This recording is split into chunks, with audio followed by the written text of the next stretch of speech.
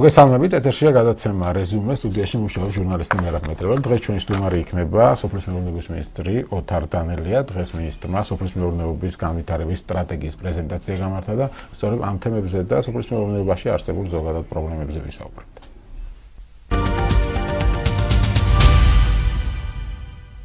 მოგესალმებით, თუმარს გამარჯვებათ.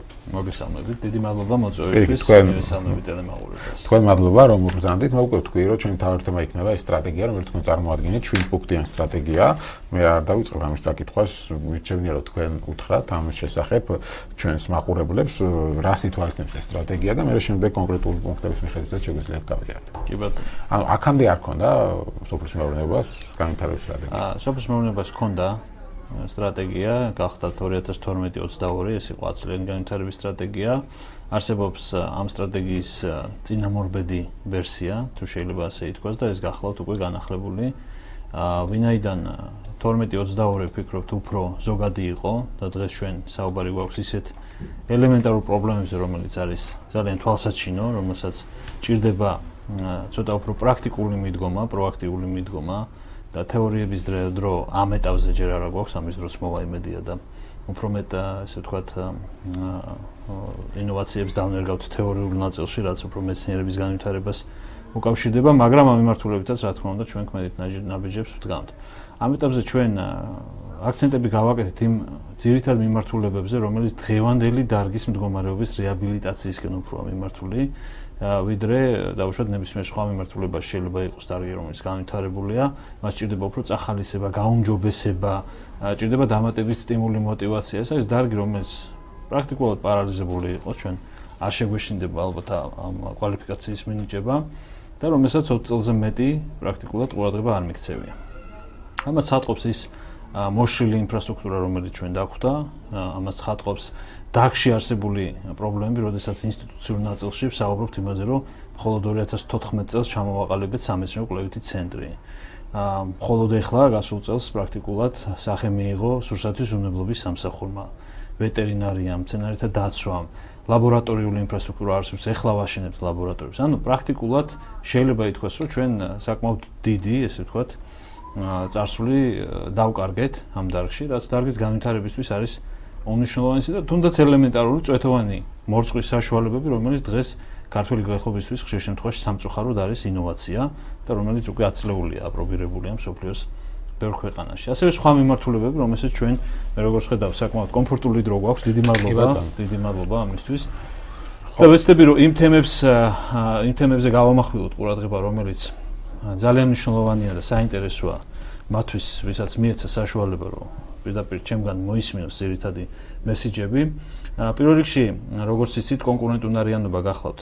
პირველი გამოწვევა დარგისა, რომელიც ბმაშია ძალიან ბევრ სხვა ელემენტებთან, ეს გახლავთ ტექნოლოგიები, ეს გახლავთ ლოჯისტიკა, ეს გახლავთ ჩვენ პირობითად ვეძახით მოსავლის დაბინავების შემდეგ მისი მოვლის მეთოდოლოგიას.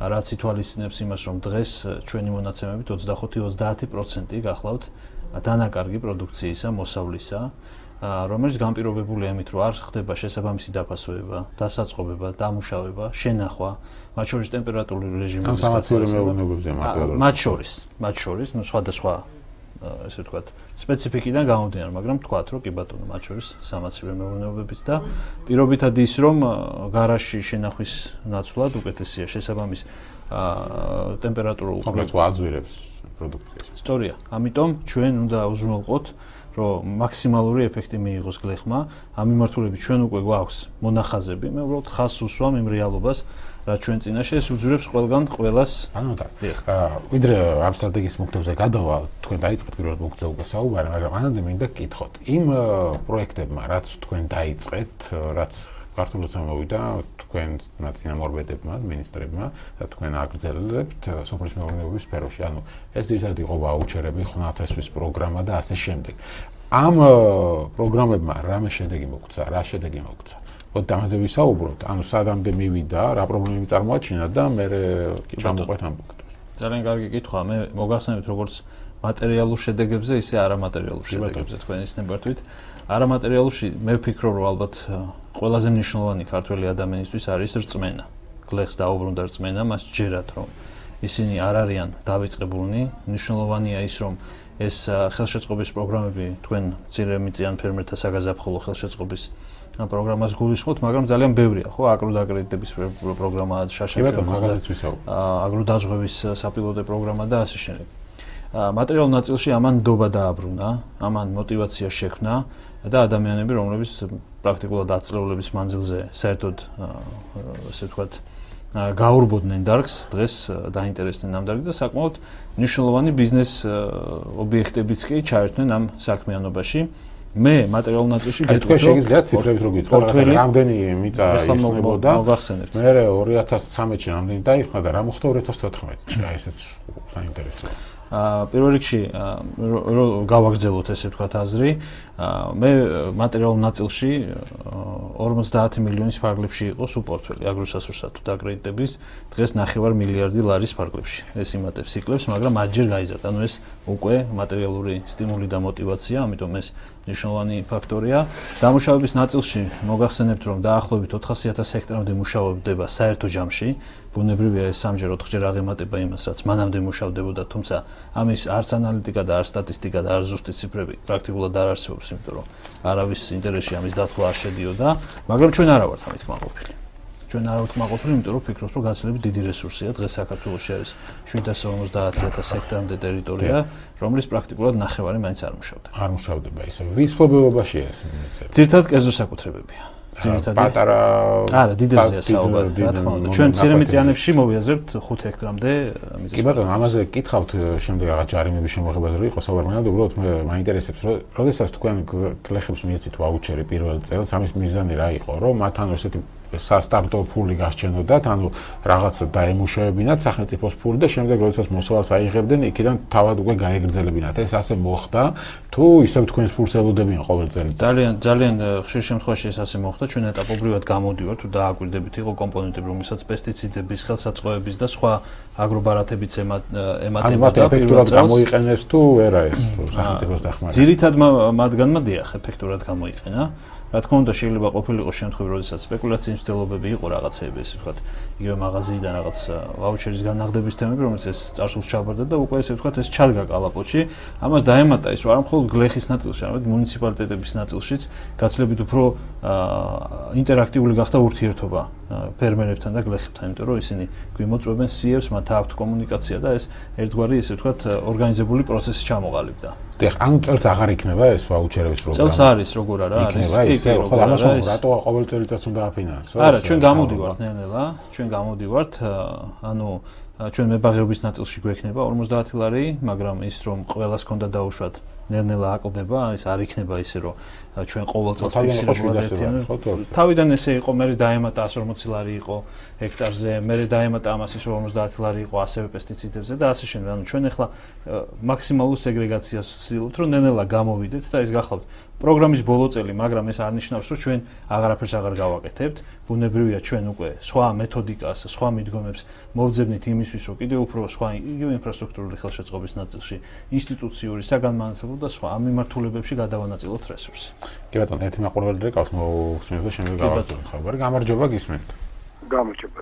დიახ. ბატონო მინისტრიდან მიმართ. ცოტა სტუდიაში აუწიეთ ხმას თუ შეიძლება. დიახ. აა გატიშული მაქვს. არა, თქვენ არა რეჟისორს ვუხდით. დიახ. ხო, ბატონო მინისტრიდან მიმართ. მოხარული ვარო, ბოლო-ბოლო შეიქმნა სამეცნიერო ტექნიკური ჯგუფი. თქვენ წინამორბედ ორივე მინისტრთან ქონდა შეხებები და ვეუბნებოდეს ტექნიკური სამსახური აუცილებელია მეთქი. მე 20 წელზე მეტია მაქვს ჩამოტანილი ინფრაწითელი შრობის ოღონდ არაფართო სპექტრით, რომელიც საქართველოში, არამედ კონკრეტულად 26 მიკრონიანი სპექტრით, რომელიც სამჯერ უფრო ეფექტურია და არიწოს გადაწყვას 60 გრადუსზე მოდ გადაშრობას ყველანაირი ხეხილისაც, პროდუქტისაც, ჩაისაც და რა პრობლემა არის თუ რას პრობლემა ის არის რომ არავინ არ იყო დაინტერესებული და ეს ტექნოლოგია ყველგან არის საქართველოს გარდა წარმოიდგინეთ ბოსნეული ქუთაისიდან ჩაქვთ უკრაინას ჩაქონდათ იქ აშრობდნენ აი ამ ტექნოლოგიით და თელ სოფლიოში გაქონდა ჩვენთან არ ხდებოდა ეგ. ამ ტექნოლოგიას 20 წელზე მეტი თავაზობ ხდი მე თვითონ ტექნარი ვარ, არ ვარ სოფლის მეურნეობა, მაგრამ ტექნოლოგია ვიცი ეს. ამით ეს ერთი, მეორე, მეორე, იგივე გლეხს, ან კოოპერატივს შეუძლებელია გლეხმა მოიძიოს ეს ინტერნეტში ახალი ტექნოლოგია წარმოება შექმნას, აიღოს სესხი, ანუ მე ახალ წარმოებებზე მაქვს ინოვაციური და ტექნოლოგიების. მე თვითონ გავაკეთე ეს პროექტი და ბევრ წინააღმდეგობას. კი ბატონო, შეკითხვა რაშია მეორე? და შეკითხვა რაში ახლა გეტყვით ხო და წავაწყდი ეს პროგრამა გამოვიდა ბანკზე ორიენტირებული და არა ფერმერზე ორიენტირებული იმიტომ 7 წლის თავზე გლეხს მოუწევს კიდე მილიონის გადახდა მილიონი რო აიღოს სესხლიან კოოპერატივს და ბანკი ერთ-ერთზე თავი განახლებულად იღებს გლეხი რისკის ქვეშ დგება. სესხების თემაზე. გასაგებია კარგი დიდი მადლობა. მეორე მაყურებელიც ამასაც მოусმინოთ გამარჯობა. და ბანკი ერთ-ერთზე თავი გამარჯობა გისმენთ თუ ესმის მაყურებელს არ ესმის როგორც შესაძლოა მაშინ ამ სესხებს უპასუხოთ და შემდეგ მეორე მაყურებელი დაგვიბრუნდება ცოტა ხანში. სესხებთან დაკავშირებით ბევრი პრეტენზია მაგალითად Facebook-ზეც მომწერეს რომ რაღაც რესტრუქტურიზაცია არ ხდებაო სესხებთან დაკავშირებით ანუ რაღაც ვიღაცები როგორც ჩანს ვერ იხდიან და ითხოვენ რესტრუქტურიზაციას. ბანკები თანახმარიანო მაგრამ სოფლის სამინისტრო არის ამის წინააღმდეგი გამორიცხულია. მე მაშინ თხოვნა მაქვს რომ კონკრეტულად თუ ვინ არის რომ გადავცეთ მაგრამ ეს არის გამორიცხული იმიტომ რომ ჩვენ ამის არანაირი არც ბერკეტი არ გაგვაჩნია და პირიქით ჩვენ ინტერესში როგორ შეიძლება ეს შედიოდეს ხო აბსოლუტურად გამორიცხულია პირიქით. ჩვენ ხელს უწყობთ მაქსიმალურად. ჩვენ ყავს საკონსულტაციო ჯგუფი რომელიც პროექტის ფორმირებაში და ბიზნეს გეგმის შედგენაში ეხმარება ნებისმიერ ადამიანს რომელსაც აქვს იდეა და რომელიც ეფუძნება როგორც ნედლეულის ნაწილში ესე ვთქვათ ხელმისაწვდომობას ისე რეალიზაციის ნაწილში ბაზარს. ამიტომ ბუნებრივია თუ ვინმეს ინტერესში შედის პროექტის დაფინანსება შედის ჩვენს ინტერესში. მათ შორის პროცენტის დასუბსიდირება ცოტა მე სიმართლე გითხრათ მიჭირს ესე ზედაპირულად თქვა ახლა ამ კონკრეტულ თემებთან მიმართებაში. აი, ზუსტად რაიონზე მომწერა ამ ადამიანმა, წყალტუბოში აქვს პრობლემებიო. ხო, მაგრამ ეს არის თქვენ იცით, რომ დღევანდელი ხელისუფლება არ ერევა კერძო სექტორში. მე მქონდა შეხვედრა ბანკის წარმომადგენლებთან, ყველა ბანკის წარმომადგენელთან, რომელიც პროექტებში მონაწილეობს და მათ მეც დარწმუნებული ვარ გარკვეულწილად ამ ეტაპზე რაც შეუძლია. კი ბატონო, რაც შეეხება ზარი, ერთი იყო რაღაც ინფრა, არ ვიცი მე ვერ ვთქვი ამ ტექნოლოგიებში, ახალ ტექნოლოგიაზე, მეორე იყო რომ ბაისესხები გამოვიდა ბანკებისთვის უფრო მეტად ვიდრე ხალხისთვის. აა რას ნიშნავს ბანკებისთვის, როდესაც 9%-ს ვასუბსიდირებ და 1%-იანი და 2%-იანი სესხი გაიცემა. ბანკისთვის რას ნიშნავს? გლეხისთვის არის ეს პირველ რიგში, ფერმერისთვის და ბიზნესმენისთვის არის. მოდით მაშინ საბანკო სექტორზე ვსაუბრობთ თუ სოფლის მეურნეობაზე. ხო, ეს არის მნიშვნელოვანი, რომ დღეს არსებობს კერძო ასე ვთქვათ ბანკები, ეს კომერციული ბანკებია, რომელსაც თავიანთი პოლიტიკები აქვს და თავიანთი ხელმისაწვდომობა აქვს რესურსზე. და ის რესურსი რაც უჯდებათ, იქიდან გამოყავთ ის კოეფიციენტი, რომელსაც პროცენტის სახით ადგენენ. ამიტომ ჩვენ ვერ შევალთ დეტალებში, მაგრამ რა თქმა უნდა, ჩვენს ინტერესში შედის, რაც შეიძლება შეღავათიანი საპროცენტო განაკვეთები ქონდეს, რომ ჩვენს ნაკლების სუბსიდირება მოგვიწევს. ამიტომ მე მგონია, რომ თანაბარ პოზიციაში ვარ ჩვენ ახლა ამ შემთხვევაში ნებისმიერ ტექნოლოგიას რაზეც საუბრობდა. ტექნოლოგიას რაც შეეხება ჩვენთან სამეცნიერო კვლევის ცენტრში, კარგია რომ ბატონმა იცის, არის ეს მიმართულებები, სადაც ტექნოლოგიური ინოვაციები, მათ შორის არის საავტორო უფლებების კონო, იქ არის ქართული გუთანიც მათ შორის არ მხოლოდ ინფრაწითელი სხვა მიმართულების ტექნოლოგიების დანერგვა არის სამყნობი აპარატურები რომელიც ქართული ავტორული უფლებებითაა და ასე შემდეგ რომელსაც ვფიქრობთ რომ გამოფენებზე ჩვენ იცით რომ ბერლინში ჩვენ ძალიან სერიოზული გამოფენა ქონდა და ტექნოლოგიურ გამოფენებზეც გვინდა რომ უკვე ქართული პროდუქცია გამოვაჩინოთ და შესაბამისად ნებისმიერი მიმართულება რომელიც იქნება მემზიდველი და საინტერესო საერთაშორისო ბაზაზე ჩვენ ხელს შევუწყობთ აუცილებლად. კი ბატონო, თუ არის ის მეორე ზარი, მოусმინოთ მაშინ და თუ არ არის, გავაგზავნებთ, არის მე მგონი გამარჯობა. გამარჯობა, გესმით? თუ ესმის, ნუ არ ესმის როგორც ჩანს ამაყურებელს, ვერ ახერხებს ეთქვა პირველად რეკამს ეთერში.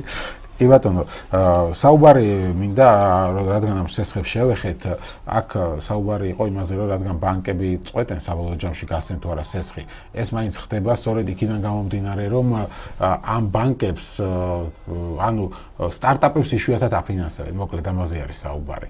ხო მე მახსოვს ქართულ ბანკში მუშაობდა მაშინ ოდარ ჯავახიშვილი ჯერ კიდევ მან თქვა და პროცენტის დაფინანსება მე რაში მარგია თუ ძირი თანხა დავკარგეო. ანუ მე თუ გარანტია არა აქვს ბანკს რომ დამბრუნებელია, ბანკი მაინც ფრთხილად ეკიდება ამას. კი, თუმცა ჩვენ გარანტიაში ჩევდივართ. იცით 50%-იანი გარანტიის თანაუზრუნველყოფას ვაკეთებთ როგორც აწარმოის საქართველოსში, ისე აგროდაფინანსების ნაწილში, ამიტომ ეგ არგუმენტი არ არის ამ შემთხვევაში, რა თქმა უნდა. ანუ გარანტიის რა თუ ძილი თანხა, ამ საშუალებას შეძლო გადახდა. უზრუნველყოფის ნაწილში, რა თქმა უნდა, 50%-იან რისკს ვიზიარებთ, ესე ვთქვათ. ბენეფიცია. კი ბატონო, მაგრამ სტარტაპებს აფინანსებენ? რა თქმა უნდა, აფინანსებენ, იმიტომაც თქვი მე, იგივე აწარმოის საქართველოსში იგივე ბევრი სხვა. იმათ ვინც ახლა უნდა დაიწყოს. უფრო გასაგები იყოს რა სკოლის ხო? ანუ აფინანსებენ. რა თქმა უნდა, რამდენია ასეთი პროექტი შეგიძლიათ როგორ თქვა? აა 105 პროექტიდან უმეტესობა სტანდარტ სტარტაპია და 580 გადაიარაღებულიდან არსებული პროექტები. გემატონო გასაგები. ანუ თქვენ შეიძლება თქვათ რომ ამ პროექტმა, რასაც ქვია, დაკრედიტების გაამართლა და ამან мотивация გააჩინა, შეიძლება პრობლემებიც გაჩნდეს. მოდი ესეც არ გამოვრიცხოთ, იმიტომ რომ ამას მე მართვა ჭირდება, ამას ჭირდება როგორც ფინანსური მართვა, ისე ორგანიზაციული მართვა. ამიტომ ძალიან მნიშვნელოვანია, რომ ეს ბალანსი დავიჭირო და საკონსტიტუციო ნაწილშიც მივეხმაროთ, რომ არ იყოს ესე თქვა წარუმატებელი ისტორიები. კი ბატონო, მაყურებელს მოусმინოთ გამარჯობა. ალო საღამშიდობის. დიახ, გისმენთ. რა მაინტერესებს, იცით, აი თუ არის საქართველოსში მიწები, რომელიც არ არის პესტიციდები და ქიმიით დაბინძურებული დღეისთვის, თუ არის ესეთი ნიადაგი. და მეორე შეკითხვა კიდევ არის ესეთი მეცნიერი რამას გახოკიძე ბატონი კათედრის გამგია ბიორგანულიგაციის და მას აქვს ესეთი ნივთიერება გამოგონებული ბიორაგი ქვია რომელიც იწვევს მოსავლიანობის 10 ჯერ 100 ჯერ და იმის გაზდას. ისე რომ შემადგენელი ესე იგი პროცენტული შემადგენლობა ნივთიერებებისა რომელიც მასში არ იცვლება ну იზრდება შესაბამისად პროპორციულად თუ გაქვთ ამაზე წარმოდგენა და აი რა აზრის ხართ ამ კი ბატონო, კარგით, მადლობთ. აა პირველ რიგში რა თქმა უნდა არის ასეთი ტერიტორიული მაღალმთიანი რეგიონები პრაქტიკულად ყველგან ასეთი მდგომარეობა, ანუ მოწები არ მუშავდებოდა პესტიციდს ვინ შეიტანდა, მაგრამ რა თქმა უნდა ზოგადად არის თემა და ჩვენ გუშინ ქონდა ღონისძიება, არ ვიცი რამდენად თვალყურს ადევნებდით თქვენ პაცემული მაყურებელი. ჩვენ დავარიგეთ ხელსაწყოები, რომელიც ნიადაგის კვლევას უზრუნველყოფს. ეს ხელსაწყოები არის ტესტები, ესე თქვა ერთგვარი და ანასეულის ლაბორატორია, რომელიც მოემსახურება ნიადაგის ძალიან სიღრმისეულ კვლევას. შესაბამისად, ეს ვიცით, რომ ისედაც პრობლემა იყო ყოველთვის, როგორც იქნა პრობლემის გასაღები ვიპოვეთ და დავიწყეთ გადაჭრა. რაც შეეხება მეორე მიმართულებას ამ კონკრეტულ შემთხვევაში, სიმართლე გითხრათ, ბევრი შემოსულა ასეთი პროექტი, თუმცა ჩვენ ყოველთვის კვალიფიკაციისთვის ვთხოვთ სამეცნიერო კვლევის ცენტრს, რომ ჩაეძიონ ნახონ, გააკეთონ, ძალიან ბევრი წარუმატებელია. თუ რაიმე ესე ვთქვათ, ხელმოსაჭიდია საინტერესო ამას სამეცნიერო კვლევით ცენტრს.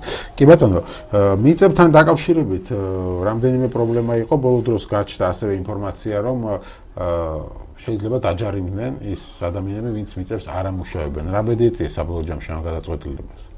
თავიდან ძალიან მომხიბვლელ ჩანს ეს იდეა, იმიტომ რომ ახლა რატომ უნდა გაცდეს მიწა თუ ვერ ამუშავებ, გაყიდე და სხვა დაამუშავებს. ძალიან მიხარია რომ მომეცა საშუალება, რომ არა ფრაგმენტულად, არამედ თავიდან ბოლომდე აზრი ჩამოვაყალიბო, იმიტომ რომ ბევრი კომენტარი გავაკეთე, მაგრამ იმდენად აკუცმაცებულად გაშუქდა, რომ მე მგონი აზრი ვერ ვერ გამოვხატე. პირველ რიგში ჯარიმებზე არ არის საუბარი, არც სანქციებზე არ არის საუბარი.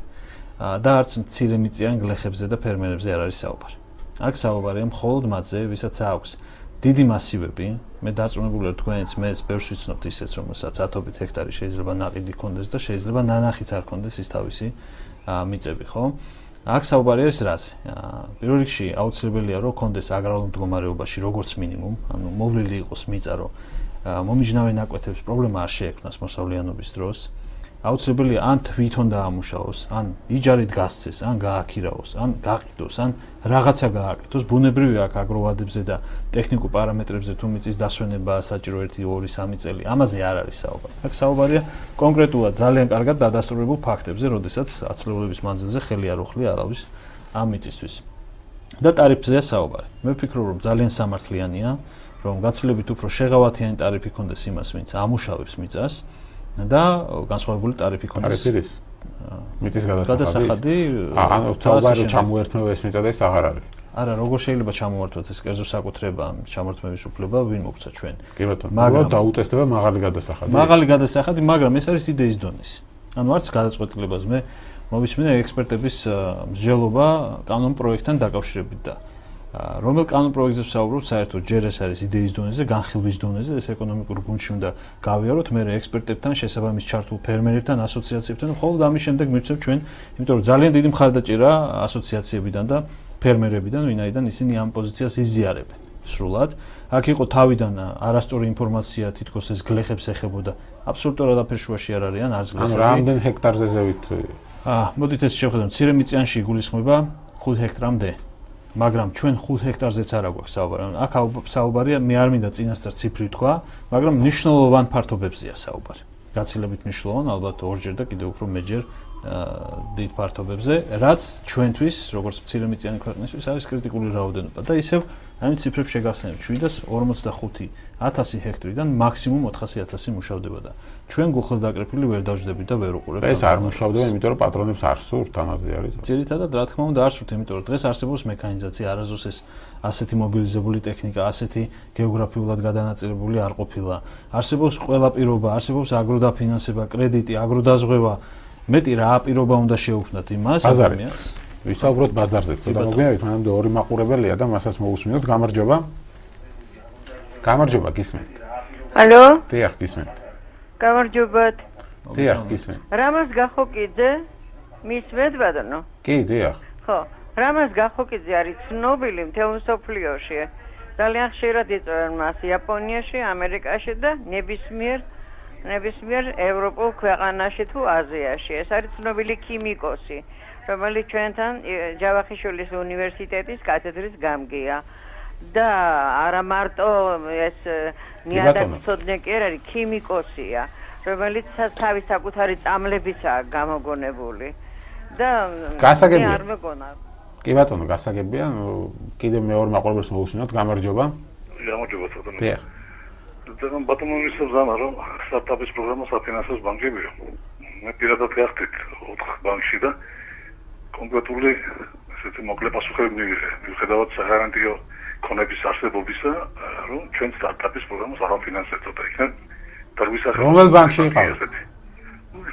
მე საქართველოს ბანკში თბილისის ბანკი მე და იმაში ვიყავით ხაზახური ბანკი როგორ ახსამეთ კი ცხოველი იქნება. ყველგან ერთად პასუხი მოკლე კონკრეტული რომ სტარტაპის პროგრამას არ ვაფინანსებთ. როდის როდის იყო უკაცრავად როდის ეს ახლობით ერთი თვის თანახევრის მაქსიმუმ ორი თვის უკან მე მე ალბათ უფრო მეტი ინფორმაცია დაგვჭირდება თუ არ შეწუხდებით არ ვიცი ან ოპერატორს რო დაუტოვოს ინფორმაცია თუ არის შესაძლებელი თუნდაც დიახ კი ბატონო დატოვეთ ტელეფონი რო გავერკვეთ ხა ამაზე პირადად იმიტომ რომ ადამიანი ამბობს რომ არც განიხილეს უკვე დღეს სტარტაპს არ ვაფინანსებთ ამაზე საუბარი როგორც ხო უნდა ჩავეძიოთ.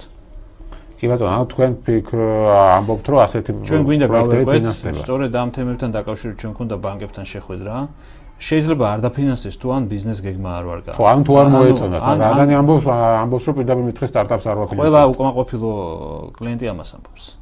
ანუ თქვენ ფიქრობთ, რომ მისი პროექტი არ ვარგო და შეიძლება. აი, ნახეთ, თქვენ გინდათ მე მიყვანოთ, მე კონკრეტიკასთან ნუ მე მიყვანთ, გავერკვიოთ, ნახოთ და მე მე კარგი და მიწების თემასთან თუ უკაცრავად, თუ კარგი პროექტია, არ ვიცი მე ვერ დაგისახელებთ კარგ პროექტს რომელიც არ დაფინანსდა და ეხლა დეტალებზე შეიძლება ძალიან ბევრმა დარეკოს იმიტომ რომ ასობით პროექტზე თქვა უარი. აა შესაბამისად ისინი რა თქმა უნდა ცდილობენ ანუ არის ორი უარის თქმის კომპონენტი ერთი არის საბანკო ნაწილში სადაც ან დაკრედიტების ან უზრუნველყოფის ან სხვა ფინანსური მოძიების ნაწილში აქვს პრობლემა იმიტომ რომ ხშირ შემთხვევაში შეიძლება მოიტანოს პროექტი და მე დაიწყოს ინვესტორის ძებნა.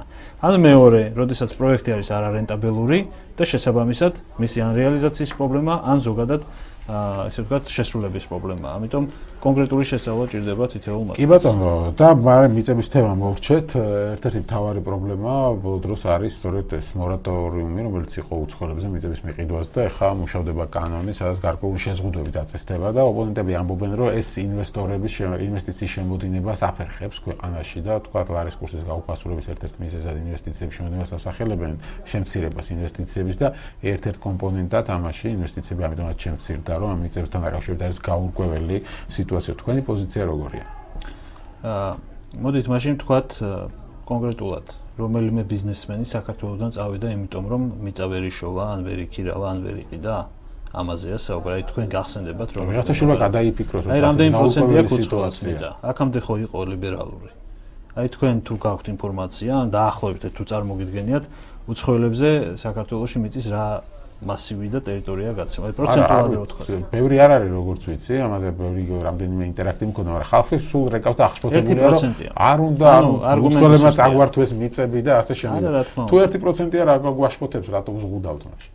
არა, ნახეთ, აქ სწორად უნდა შევაფასოთ მოცემულობა. ჩვენ უნდა განსაზღვროთ პირობები. ხოლო უცხოელზე არ არის, ჩვენ საუბრობთ ეხლა იმაზე, რომ სატარიფო პოლიტიკა უნდა განისაზღვროს. ეს ხო ყველას ეხება. ასევე ყველას ეხება გასხვისების პოლიტიკა.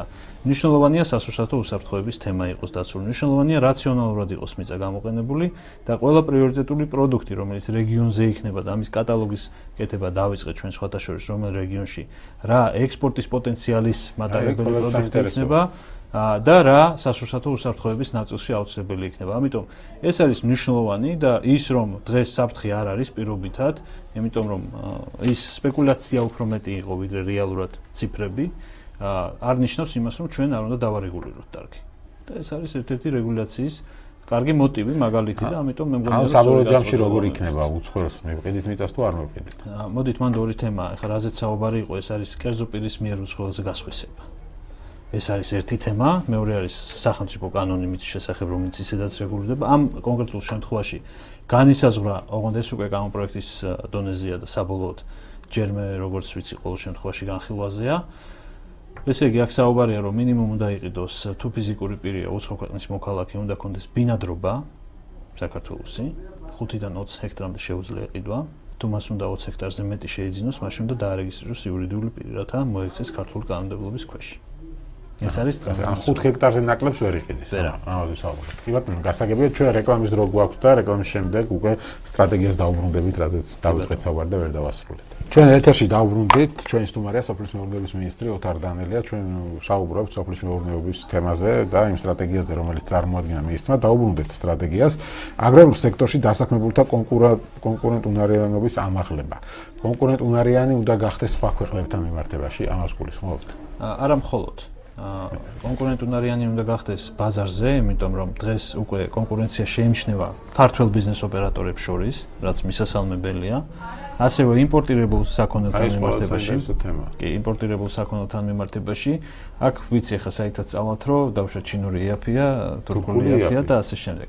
მაგრამ აქ სხვა თემებია მან, რომელიც უფრო გლობალურია და რომელზეც ასევე მუშაობთ, მაგრამ აქ საუბარი არის, როდესაც ჩვენ ვამბობთ კონკურენტუნარიანი, ეს ხო პირდაპირ პროპორციულად იმაზე იაფს არ ნიშნავს.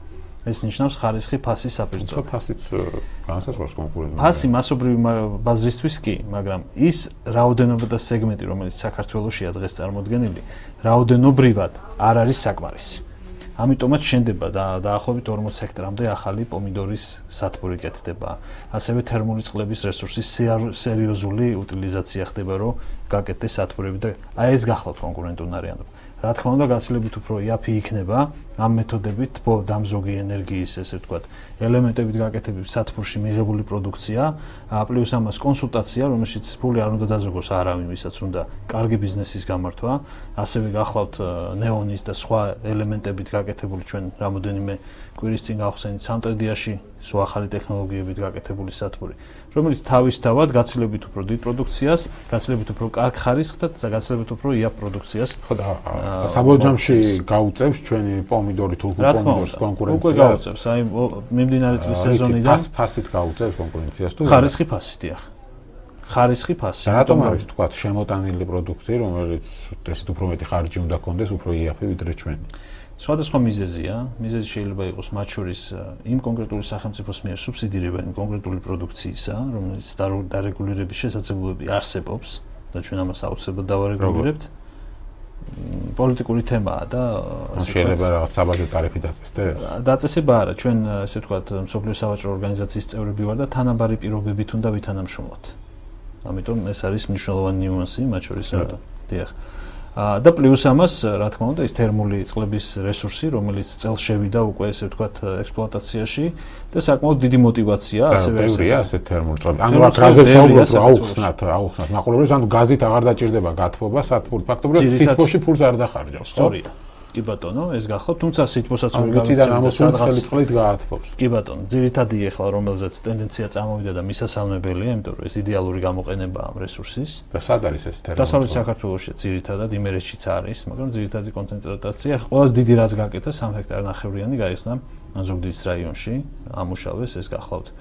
კერძო ბიზნესმენი, კერძო ინვესტიცია 100%-იანი, მაგრამ ებრაელი, ესე ვთქვათ, სპეციალისტი. ეს არსებული თერმული წყლები ხდება თუ მოძიება ხდება მეწის? არსებული ლიცენზიები ადრე გაცემულია და შესაბამისად უკვე ნელ-ნელა სწორედ ამას ვამბობთ, როდესაც არამატერიალურ ნაწილში წახალისებაზე გვაქვს საუბარი, რომ მათ უკვე სჯერათ, რომ აზრი აქვს ამ ბიზნესის გაკეთებას. და შესაბამისად წამოვიდა კერძო სექტორიდან ინტერესი და ვისაც ეს თერმული წყლები ქონდა, ისინი ცდილობენ ნელა გადავიდნენ და გააკეთონ. სასათბურე მეურნეობა იქნება ეს თუ სხვა ტიპის, მაგრამ თბო დანერგვის, თბო დაზოგვის ნაწილში ძალიან მნიშვნელოვანი რესურსია. კი ბატონო, აა კონკურენტული სამაღლებისთვის კიდევ რა ნაბიჯები გადაიდგინა? ტექნოლოგიები, განათლება, მართვა, კოოპერატივები. ეს არის ძალიან მნიშვნელოვანი კოოპერატივები, რომელიც კარგად და ჯანსაღად ყალიბდება ხდება კონკრეტული ცალკე პროგრამა იყო მახსოვს ევროკავშირი საკმაოდ ჩართული ამ პროგრამაში და რამდენად წარმატებული გამოდგან მოდიან გლეხები ვიცი რომ პრობლემები ქონდა ზოგს ეშინოდეს რაღაც კოლმეურნეობას აგონებდა და ასე შემდეგ. სწორი შენიშვნა იყო იყო ეს ნამდვილად. ამაზე დღესაც მე ვიტყოდი რომ მაინც ბოლომდე ეს პრობლემა არ არის აღმოფხრული ამიტომ სწორი კომუნიკაცია არის აქ ძირითადი აა ინსტრუმენტი თუ შეიძლება ასე ითქვას, თუმცა 500-ზე მეტი კოოპერატივი 2014 წლის ბოლოსთვის უკვე დარეგისტრირებული იყო. ჩვენ ვეხმარებით მათ, ვეხმარებით. ალბათ მუშაობს. ყველა მუშაობს აბსოლუტურად. მე ვერ ვიტყოდი რომ ალბათ ყველა იქნება წარმატებული ჩვენი დახმარების გარეშე. ამიტომ ჩვენ ხელი უნდა შევუწყოთ. მათ შორის ისე მივდივართ მართვის ნაწილში. იქ არიან ლიდერები, რომლებიც გამოიკვეთა და ჩვენ ხელს ვუწყობთ, რომ მათ მაქსიმალურად ესე ვთქვათ, მიიღონ. რასაც მოვა, თვითონ. არის თაფლის კოოპერატივი. ბევრი მიმართულებაა. ჩვენ გვინდა იდეალურ შემთხვევაში, რომ მივიღოთ სოფელი კოოპერატივი. ეს იქნება ყველაზე კარგი შედეგი და ყველაზე კრიტიკული. ამ სოფელი ერთ კოოპერატივში გაერთიანდა. ერთთან ორ ესე ვთქვათ. ანუ ეს შემოთავაზებაა ერთი პროდუქცია აწარმოოს ერთი მიმართულებით. კი, ეს იქნებოდა იდეალური და სადაც მოვახერხებ ჩვენ რა თქმა უნდა ამის ხელშეწყობას გავაკეთებთ. კი ბატონო, შემდეგი პუნქტი არის ინსტიტუციური განვითარება, ეს რაც გულისხმობს. სამეცნიერო-კვლევითი ცენტრი, ესე ვთქვათ, დარგობრივი განვითარებები ჩვენ რეგიონების მიხედვით ჩავშალეთ და ისევე ესე ვთქვათ, საკონსულტაციო ცენტრები, რომელიც ექსტენსიის ცენტრებად გვაქვს ჩამოყალიბებული რეგიონებში, აქ სულ ესე ვთქვათ, სრულიად ახალ მიდგომას უნერგავთ. გვინდა რომ მაქსიმალურად მოქნილი და პროაქტიული იყოს, იყოს ინტერაქტიული და გლეხებთან მაქსიმალურად როგორც პრაქტიკული, ისე თეორიული დახმარებები გაუწიოს და თან ასევე გეგმოთ მობილური ექსტენსიის სადგურების გაკეთებას, ეგ გახლავთ მიკროავტობუსი, რომელიც იქნება აღჭურვილი, მათ შორის პესტიციდების კონტროლით, მართვით, გამოყენებით, ინსტრუქტაჟებით თუ რას როგორ უნდა მოუარონ.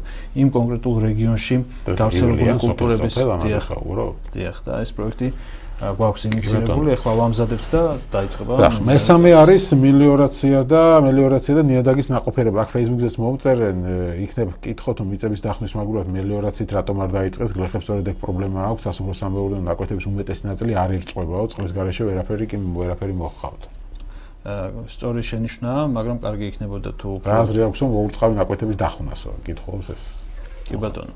სადაც მოხნული არ არის სადაც წყალუზრუნველყოფა არ არის ჩვენ დაწყებული გვაქვს და 40000-დან 89000 ჰექტრამდე ავედით. 2014 წლის ბოლოს ჩვენ გეგმავთ რომ გაცილებით უფრო მეტი უნდა გავაკეთოთ მიმდინარე წელს მაგრამ 400000 ჰექტრამდე იყო წყალუზრუნველყოფილი და ბუნებრივია ეს მოშლილია ეს ინფრასტრუქტურა გაძარცულია არარენტაბელური იყო თავის დროზე შესაბამისად ჩვენ გვიწევს როგორც ერთის მხრივ აღდგენა ხშირ შემთხვევაში აღდგენას აზრიც არ აქვს და აბსოლუტურად ახალს ვაკეთებთ ხოლმე. პლუს ამას ემატება ის დამატებით ინვესტიციები ინფრასტრუქტურული პროექტები სამშენებლო ნაწილი რომელსაც დრომი აქვს ფიზიკურად და ეს არის წლებზე გადანაწილებული თუმცა მე ჩვენ პირობა დავდეთ და ამ პირობას ვასრულებთ რომ სადაც ამის შესაძლებლობა იქნება ჩვენ წყალს აუცილებლად მივიყვანთ და თუ შევლენ თქვენ შეგიძლიათ ნახოთ მელიორაციის ვებგვერდი და ნახოთ მიმდინარე პროექტები და შეადაროთ გასული წლების მიმდინარე პროექტებს. რა პროცენტი დარჩა?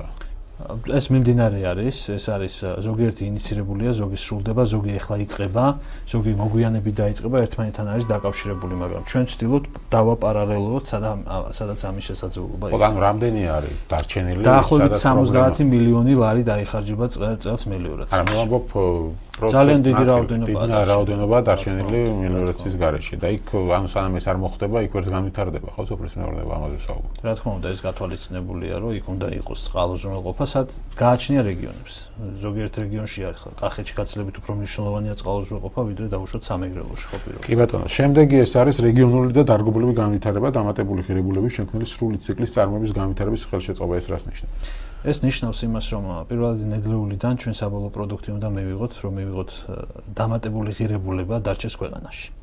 შე შემთხვევაში ნახევრად ნედლეული გადაწყობიდან ნედლეული არ გავიდეს, ან მიიღოს მას საბოლოო სახე, ან ჩაბრუნდეს დარგში. ეს ნიშნავს აი მაგალითისთვის შემიძლია მოგიყვანოთ თევზის თევზჭერის მაგალითი, ძალიან კარგი მაგალითია და იმიტომ მოგესწრებათ გაცემული ლიცენზიები, სადაც ხდება თევზჭერა შავი ზღვის ავში, რომლისგანაც აწარმოებენ ფქვილსა და ზეთს და რომელიც გადის სხვა ქვეყნებში. ანუ ეს უკვე ნიშნავს, რომ ციკლი არ არის დაცული და იმის ნაცვლად რომ მიიღოს დამატებული ღირებულება საქართველოში, გადის ნედლეული სახით. და თუ ჩვენ მას საბოლოო სახეს მივცემთ ვაწარმოებთ კომბინირებულ საკვებს ან სასურსათო თევზს პირობითად. გაცილებით უფრო დიდ ეფექტს მივიღებთ, იმიტომ უფრო იაფი და ხელმისაწვდომი გახდება კომბინირებული საკვები და მასში მისი შემცველობის კომპონენტები, რომელიც უკვე აკვაკულტურას გაანავითარებს და არა მხოლოდ აკვაკულტურას, მე ფრინველეობას, მესაქონლეობას და ასე შემდეგ. ანუ ეს არის სრული კომპლექსი და ჩვენ გვინდა რომ ეს ჯაჭვი იყოს მაქსიმალურად. ანუ ხარხნების აშენებას გულისხმობს. მათ შორის, მათ შორის ხარხნების აშენება, მათ შორის ადგილობრივი წარმოება, რომ ეს დარგს ჩვენ გააკეთებთ თუ ინვესტიციები ჩვენ ხელს შევუწყობთ, ჩვენ ხელს შევუწყობთ ბიზნეს სექტორი არის დაინტერესებული ინტერესებული. ეს არ გახლავთ მხოლოდ თეორია, ჩვენ მქონდა შეხვედრები და ამ კონკრეტ ფაზე ეს მაგალითი მოვიყვანე, მაგრამ ყველგან არის ეს შესაძლებლობა. იგივე არის ლურჯი მოწვი, იცით თქვენ ახალი მიმართულება, ლურჯი მოწვი უნდა დასაწყობდეს შესაბამისად მიიღოს საბოლოო სახე და შემდეგ აქვს მას ესე ვთქვათ ექსპორტის პოტენციალი, ხო? აა ყველა მიმართულებაში, სადაც დღეს გვაქვს დანაკარგები და მე არ ვიცი ჩვენ არ გვისაუბრია კონკრეტულად ამ თემასთან დაკავშირებით, მაგრამ დაფასებებას და შენახვას იმდენად კრიტიკული მნიშვნელობა აქვს, რომ ხშირ შემთხვევაში შეიძლება ციკლის დასასრულიც კი იყოს. ამიტომ მნიშვნელოვანია, რომ მთელი ციკლი, რაც ამ პროდუქტთან დაკავშირებულია, რაც საბოლოოს ამას ქვია ფერმიდან სუფრამდე. ეს არის კონცეფცია და ჩვენ გვინდა რომ ყველა ყველა კონკრეტულ სეგმენტთან მიმართებაში ეს კი ბატონო. შემდეგ არის მეხუთე სასუსართო უსაფრთხოების უზრუნველყოფა. ეს არის ძირითადი პოზიციები, რომელიც არის როგორც საერთაშორისო ორგანიზაციების რეკომენდაციის შესაბამისად, ისე ჩვენ სპეციფიკიდან გამომდინარე და ასევე რეგიონში მიმდინარე მოვლენებთან დაკავშირებით, რომ მაქსიმალურად კონტროლი კონდეს იმ ძირითად სასურსათო უსაფრთხოების პოზიციებს, რომელიც ქვეყნისთვის არის კრიტიკულად მნიშვნელოვანი. ამიტომ ეს არის ამისი პერმანენტული კონტროლი, მონიტორინგი, რეზერვების მართვა და ასე შემდეგ, რომელიც ჩვენ არ უნდა დაგვავიწყდეს და ყოველთვის ნუ ეს ესე რაც სურსათის უნებლობა მეექვსე, ეს ნუ გასაგებია ისედაც და მეშვიდე კლიმატის ცვლილებები, გარემო და ბიომრავალფეროვნების შენარჩუნება.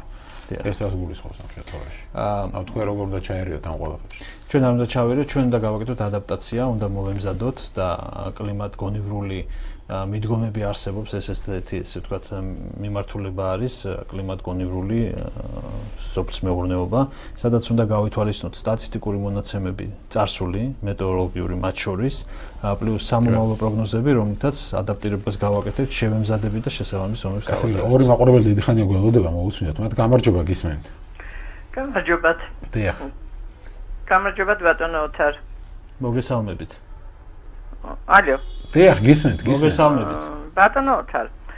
აა პროექტების მართვის სააგენტო, თქვენი სამინისტროს ქვემდებარე, ალბათ იცით, ქალბატონი.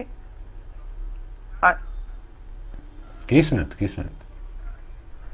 აა დირექტორი ქალბატონი მარიანა მორგოშია. როგორც კი მოვიდა და უაპელაციოდ გაათავისუფლა ხალხი შეუწყვიტა ხელშეკრულება.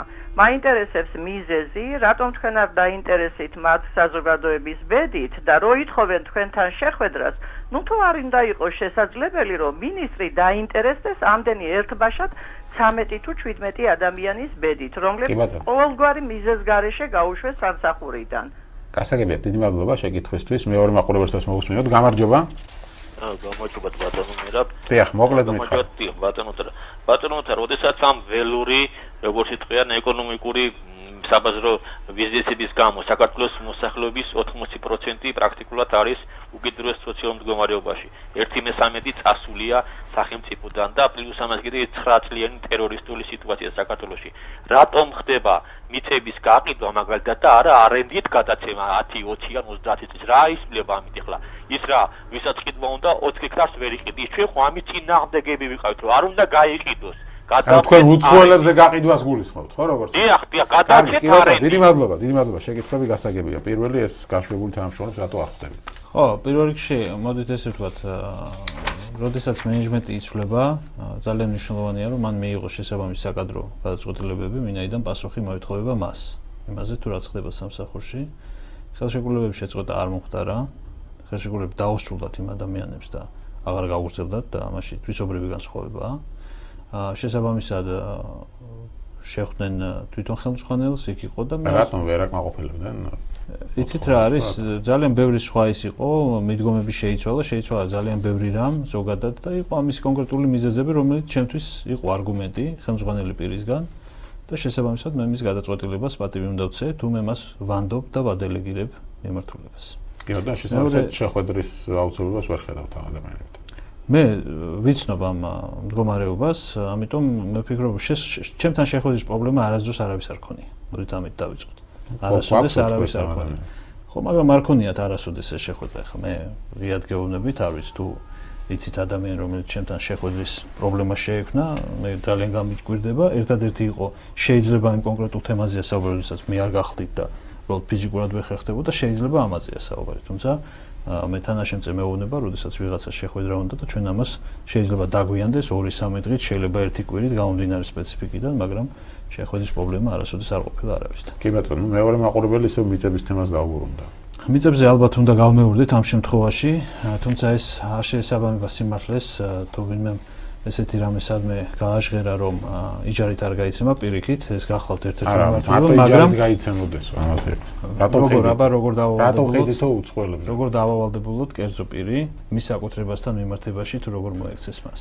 კი ბატონო და მე ვთქვი ვილაპარაკე ბაზრებზე რა ხდება ამ მიმართულებით ამ ასოცირების ხელშეკრულება ხა შედის ძალაში ნელა რაიმე შეცვალა უკვე ან უგეგმავთ ამ მიმართულებით გადაწყობას თუ როგორ არის ქართული კივი გადის უკვე გერმანიაში ეს ესე ვთქვათ პირველი რაც გამახსენდა იმიტომ რომ ბოლო პროდუქტი ეს გავიდა ქართული წყლები, მინერალური წყლები. ეს ამ ასოცირების ხელშეკრულების შედეგად? არა, არა, არა. ეს ეს ასოცირების შედეგად კივზე შეიძლება ითქვას, იმიტომ რომ მას აქვს მიკლოვადობა და ყველა ის ესე ვთქვათ სტანდარტი, რაც ევროკავშირს ჭირდება. პლუს ამას ჩამოსულები იყვნენ და შეამოწმეს ჩვენი მეთევზეობა, თაფლის წარმოება და ეს იქნება ალბათ პიონერი პროდუქტები, რომელიც გავა ევროპულ ბაზარზე, ამ მიმართულებით ჩვენ ლაბორატორიაში სპეცაღჭურვასაც ვაკეთებთ, რომ თაფლის ანალიზები გავაკეთოთ და გავცეთ ის სერტიფიკატი, რომელსაც ითხოვს ევროპული მხარე. ამიტომ ეს ასოცირების ნაწილში ჩვენ 400-ზე მეტი დირექტივა გვაქვს, რომელიც უნდა ჰარმონიზაციის ნაწილში დავაკმაყოფილოთ და ეტაპობრივად ეს დაიწყება. თუმცა ძალიან იშვიათი გამონაკლისია ალბათ ნიორი და კიდე რამოდენიმე პოზიცია, რომელზეც რაღაც კვოტებია. დანარჩენში დღესაც არავინ არ არის შეზღუდული თუ ის აკმაყოფილებს გლობალ გეპის ჰასპის და სხვა სტანდარტებს, რომელსაც ევროკავშირი ითხოვს, პრობლემა არ ექნებათ რეალიზაციისა ევროპაში. კი ბატონო, და ზოგადად დღეს ამ ეტაპზე, როცა ჩვენ ვცდილობთ რომ გავაფართოვოთ სოფლის მეურნეობა, აა მათ რამდენად აქვს საშუალება, რომ დააკმაყოფილოთ თუნდაც ეს სტანდარტები. ანუ ჩვენ დღეს ვცდილობთ დავაკმაყოფილოთ ქართული ბაზარი თუ ექსპორტზე? ჩვენ ჩვენ ვცდილობთ ორივეს, იმიტომ რომ ეს ესე რაღაც ჩარჩოებში მოქცევა საერთოდ ძალიან რთულია ხოლმე და ეს ძალიან განვითარება კარგია ბიზნესის გაკეთება, მაგრამ თუ გაზახების ბაზარი არა გაქვს. კი, თუმცა ჩვენ ჩვენი თითოეული ვიზიტი ემსახურება დამატებითი ბაზრის მოძიებას, ბაზრის დივერსიფიკაციას, რისკების დაზღვევას. შესაბამისად, თუ საქართველოსი არის მეწარმე, რომელსაც აქვს კარგი პროდუქცია და იცავს იმ ნორმებსა და სტანდარტებს, რომელიც არის ძალიან მწირია ქართული პროდუქცია. შესაბამისად, მისი რეალიზაცია დიდ პრობლემას პრაქტიკულად არ წარმოადგენს. მოდი ჩვენ გავიხსენოთ, რომ რთველზე აღარ ვისაუბროთ, იმიტომ რომ ბევრიან ასაუბრები და მე მგონი ყველანი თანხმდებით რომ ძალიან კარგი რთველი იყო. იგივე იყო კონცენტრატის, ვაშლის კონცენტრატის ნაწილში, რომელსაც ჩვენ დავეხმარეთ 44000 ტონა ვაშლი გადამუშავდა, ეს არასოდეს არ მოხდა რა. და იგივე მანდარინის ნაწილში ხო 1 კილოგრამი მანდარინი არ გადაყრა. ამიტომ თავარი სწორი მართვა, სწორი მიდგომები და გასაღების და თავარი ანუ საექსპორტო ქვეყანა რომელია ჩვენთვის დღეს. ძირითადად მაინც რჩება უკრაინა, რა თქმა უნდა, თუმცა იმედოვნებს აა უკვე ნელ-ნელა უნდა გადავხედოთ ალბათ პირველ კვარტალში დავინახოთ რეალურ შესაძლებლობებს, იმიტომ რომ საომარ ვითარებაშია ქვეყანა და ძალიან რთულ მდგომარეობაშია. რუსეთში საკმაოდ კრიტიკული რაოდენობა გადის, ასევე მნიშვნელოვანია ჩვენთვის უკვე ბელორუსიის თემა და მე გახდით რამოდენიმე დღის წინ და სადაც სერიოზულად თქვენ გქონდათ ლუკაშენკოსთან შეხვედრა, ხო? არა, ლუკაშენკოსთან არ მქონია მე შეხვედრა, უბრალოდ მე მქონდა ვიცე-პრემიერთან შეხვედრა, სადაც ისაუბრა იმ შეხვედრაზე, დიახ, რომელიც იგივე საქართველოს ლუკაშენკოს ვიზიტს აქვს. ოხრივი ურთიერთობა, სავაჭრო ურთიერთობა და ურთიერთობის გაღრმავება, იმიტომ რომ არ ყოფილა ლუკაშენკოს საქართველოსში. და და ბელორუსში რა პროდუქცია შეიძლება გავიდეს? პრაქტიკულად ყველაფერი. იგივე როგორც როგორც არა, ზის არც აქვს. ზის ჩვენც არ აქვს, ამიტომ აქ უფრო ხილი ბოსნეული, ღვინო, მინერალური წყლები. კი ბატონო, თქვენ თქვით, რომ რუსეთში შემცირდა ღვინის ექსპორტი, რატო შემცირდა ამ ეკონომიკური კრიზისის გამო? ტრანზაქციების ასე ვთქვათ პრობლემებია უკრაინაშიც და რუსეთშიც. აა შესაბამისად ჩვენ როგორც კონსტატაციები გავიარეთ, განაპირობა ამ კონკრეტულმა მოვლენებმა, თუმცა რთულია რომ ერთი თვის ჭრილში ჩვენ დიაგნოზი დავსვათ და რაღაცა დასკვნები ვაკეთოთ, ამიტომ კიდევ უფრო სერვისეული კვლევები გვაქვს ამ თემაზე უკვე დაწყებული, რომ ნახოთ რა შეიძლება გავაკეთოთ იმისთვის, რომ ხელი შეუწყოთ ექსპორტიორებს. რა თქვა თქვით რომ რთველი კარგად ჩატარდა. მას შემდეგ რაც ახლა უკრაინაში პრობლემებია, რუსეთში კრიზისია, წელს რა მდგომარეობა გვექნება რთველთან დაკავშირებით? მე რისკებს ვერ ხედავ, სიმართლე გითხრათ, იმიტომ რომ ასევე ერთის მხრივ თუ იკლებს დაუშვათ უკრაინაში და რუსეთში ექსპორტი იკლებს, ცოტა ხმამაღალი ნათქვამია ტენდენციები. შეიმჩნევა ასევე ზრდის ტენდენციები, ეს გახლავთ პოლონეთი, ეს გახლავთ იაპონია, ჩინეთი, ჩინეთის ძელსთან კონდა ჩვენ შეხვედრა და ამ თემაზეც ვისაუბრეთ, რომ სამომავლო ექსპორტის პოტენციალში არის ძალიან სერიოზული შესაძლებლობები და ამიტომ ვფიქრობთ, რომ ისევ დივერსიფიკაციისა და რისკების დაზღვევის ნაწილში აქ არ არის მხოლოდ ესე ვთქვათ იმაზე საუბარი, რომ ვიღაცა ქართულ ექსპორტს ან დაკეტავს, ან შეაჩერებს. შეიძლება იყოს ძალიან სტაბილური ექსპორტიორი ქვეყანა, მაგრამ თავისივე პრობლემებიდან გამომდინარე რაღაცა შეფერხდეს და ამიტომ ჩვენ მზად უნდა ვიყოთ ყოველთვის ფორმაში უნდა ვიყოთ ჩვენ პატარა ქვეყანა ვართ და ეს უნარი ყოველთვის გქონდა და ეხლაც უნდა მაქსიმალურად გამოვიყენოთ თვითგადარჩენის დივერსიფიკაციისა და ესე ვთქვათ, мотиваციის უნარი. კი ბატონო, და საუბრობთ თუ გაგვთ ათვლილი რას ფიქრობთ, ქართული ეკონომიკის რა წილი შეიძლება დაიჭიროს სოფლის მეურნეობა? იცით მიჭირს, იმიტომ რომ დღეს მთლიანში და პროდუქტში დაახლოებით 9.4%-ია. საერთოდ ეს პროცენტი წესით უნდა შემცირდეს. მიუხედავად იმისა, რომ დარგი უნდა გაძლიერდეს, პროცენტი უნდა შემცირდეს, იმიტომ რომ ეკონომიკამ გაცილებით უფრო დიდი мотивაციები უნდა გამოიწვიოს სხვა მიმართულებებში. ეს ესე ვთქვათ კლასიკურად. თუმცა ჯერჯერობით ალბათ ამ ნიშნულზე შემნარჩუნდებით, მე ვფიქრობ, მიმდინარე წელსაც. ზრდა არ იქნება? ზრდა არ უნდა იყოს. ანუ ეს ხო მთლიანში და პროდუქცია წილზეა საუბარი. ამიტომ ეკონომიკა უფრო უნდა გაჯანსაღდეს, უფრო მეტად და პროპორციულად ეს არ უნდა გაიზარდოს წესით. თუმცა რაოდენობრივად უნდა გაიზარდოს. კი ბატონო, ბევრი მithქმა მოთქმა იყო პურის ფასთან დაკავშირებით, თქვენ თქვით რომ საუბარიც დაზე ნაადრევია, მაგრამ ნუ გაზის ფასზე ვარ დამოკიდებული საბოლოო ჯამში. და რა გადაწყვეტილებამ მიხვედით, ანუ მოხდა მოლაპარაკება რომ გაზის ფასი არ მიმდინარეობს კონსულტაციები, მათ შორის დღესაც შეიძლება ხვალაც, ამიტომ სანამ საბოლოო სურათი არ გვეცოდინება, ჯერ ადრე ამაზე საუბარი. ანუ არ ვიცით პური გაზვირდება თუ არა. გაზი გაზვირდება თუ არა, ჯერ მაგაზე მედის კონსულტაციები და ამის შემდეგ უკვე როგორ გადალაგდება იმის მიხედვით გვეცოდინება.